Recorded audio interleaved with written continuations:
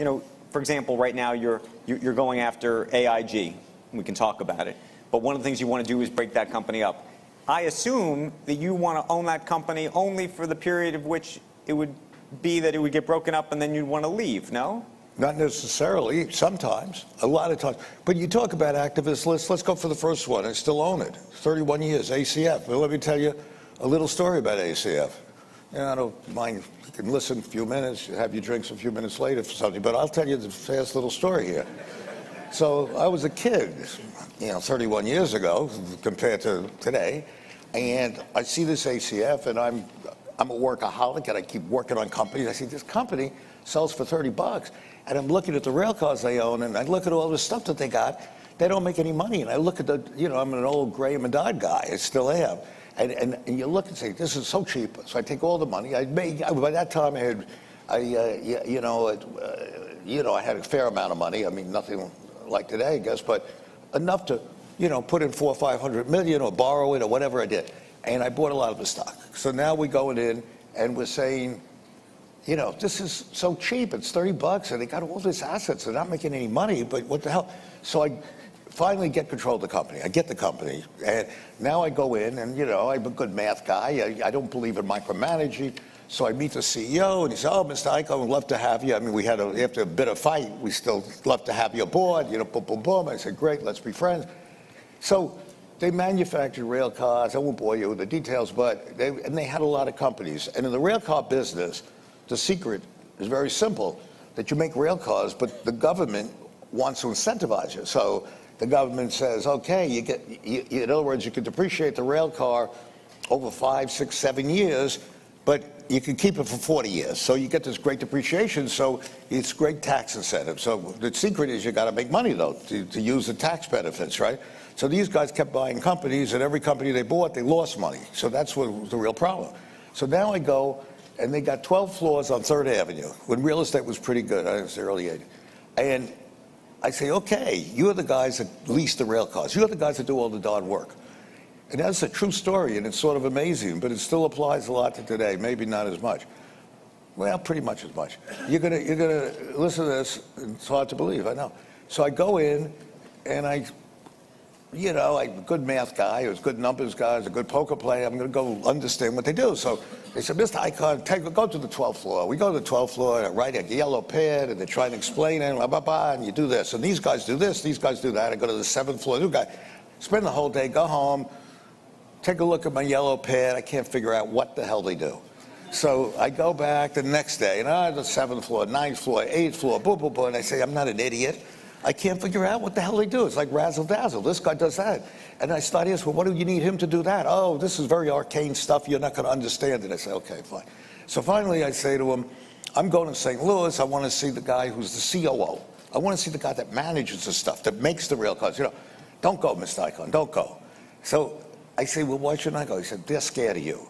I said, what do you mean scared? What did I do? He said, nah, they depend on us. They depend on us, and we tell them what to do, and they're very worried that you might do something with us. I said, well, I'm not threatening to do anything, but I'd like to see him. But don't go. So I go back, eighth floor, ninth floor, seventh floor, boom, boom, boom, boom, go back home, can't figure out what the hell's going on. So I said, screw these guys. So I called the guy, his name is Joe, in St. Louis. I said, look, Joe, I want to come see you. See, of course, Mr. Icahn, I'd love to see you. I said, do me a favor, don't tell the CEO I'm coming. I just want to come myself and talk to you, but don't get nervous about anything. He said, why should I be nervous? I said, you're right. This guy, Joe, is like a John Wayne character. He was a captain in the Marines, a tough guy. I was scared of him. And, and, and, and, I, and I'm sitting there looking at him, we're talking and we're laughing, and he's showing me stuff. I understand what he does. He does this, that, boom, boom, boom. So I said, I want to have a drink with you. So we go out and have a drink.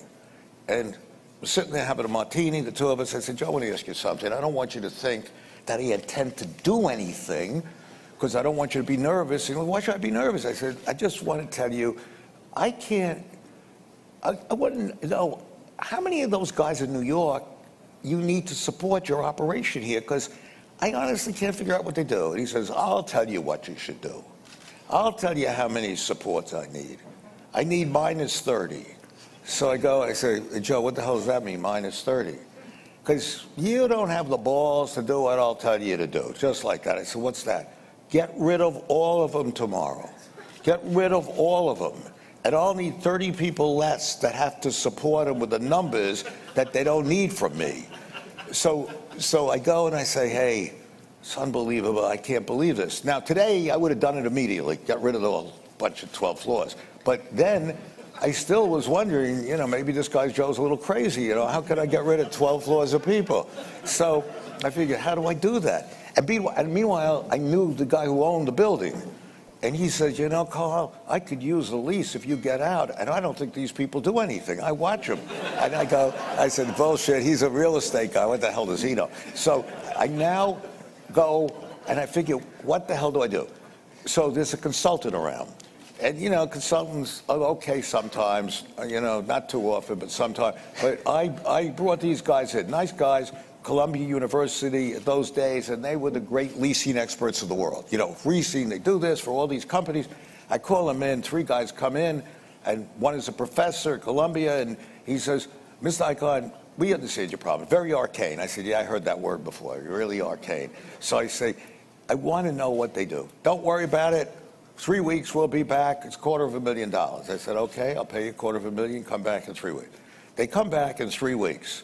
Now, this is sort of hard to believe, and but it typifies America, but people don't don't believe it. Comes back in three weeks with book like this, big book, you know, boom, boom, boom, yellow graphs, red graphs, green graph. I say, hey, I ain't gonna read this book. I said, and I'm colorblind anyway. So, so I said, so I say, all I want you to do, here's a yellow pad. I did very well in school. I'm a numbers guy. Tell me what they do. And I said, here's your quarter of a million bucks. And I give it to him. And he looks at me, he smiles. He says, you know something? You've been square with us, Mr. Icahn. You seem like a good guy. So I'm going to tell you something. We don't know what they do either. I, am not, and I'm not, I'm not joking. I am not joking. But here's the funniest thing. I mean, it's really sort of funny. I said, screw it. I called Joe up. You know, he comes over. He said, great, great, do it. I, you know, I gave him this severance. Nobody was mad. Got rid of the whole 12 floors. Sold the lease for $10 million. That was a lot then. And, and, and if you shut down a grocery store, let's say you, you, you, bought a grocery store and shut it down, you'd hear from somebody, you know, somebody didn't get the apples right, you know, somebody, the pears were rotten or something. If you had a flower shot, the, you know, the, the, the roses wilted. It was like out of a science fiction movie. It's like they never existed. I never got a letter. I never got anybody calling me. It's they left. It was it was like an e, one of those bombs, you know, that just hit the thing and, and you know kills all the people and, and, and the building stays. I, but but I follow I follow those principles a lot in what I do. There are very many companies. There are very many companies where, and it's nobody's fault really, but it's just the CEO doesn't care. He's making a lot of money, and today it's very dangerous because a lot of these mediocre companies are borrowing money, and they're borrowing money very cheaply.